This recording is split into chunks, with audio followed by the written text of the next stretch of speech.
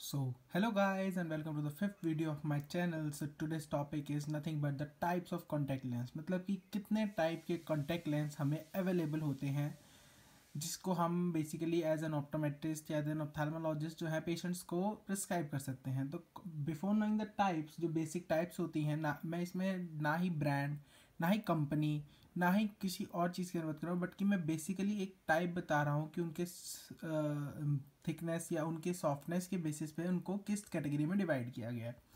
तो बेसिकली उसके पहले हमें जानना होगी कॉन्टैक्ट लेंस होता क्या है और वो किस काम में आता है। तो contact lens is a lens which is helpful in correction of refractive error and irregular cornea मतलब कि जो हमारी कॉर्निया के इरेगुलर शेप होते हैं, उनको हील करने में या रिफ्रेक्टिव एरर को ठीक करने में काम आता है।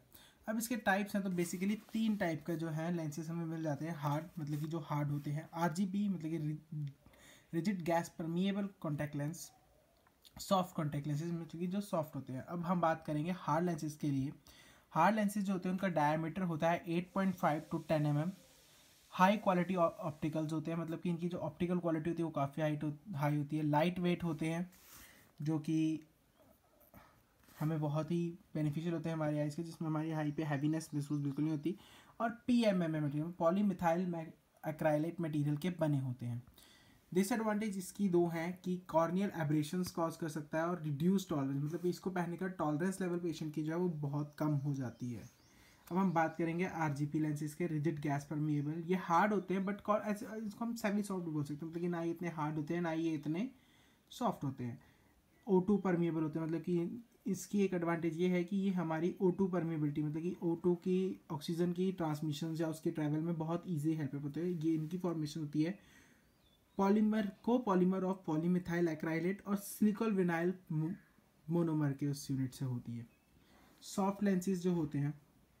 सॉफ्ट लेंसेज जो है basically hydroxy methyl acrylate material के बने होते हैं। One two two M M larger than the corneal diameter जो हमारा कॉर्निया का डायमीटर होगा, उससे one two two M M ज़्यादा होंगे। कंफर्टेबल होते हैं।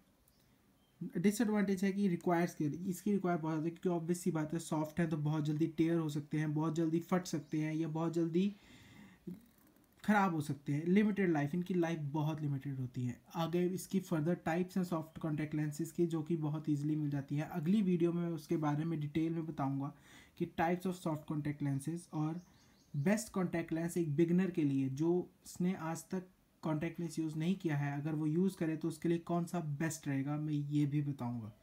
So till then please subscribe my channel Pratish Kayastha for the further videos of contact lens and various eye related diseases thank you and bye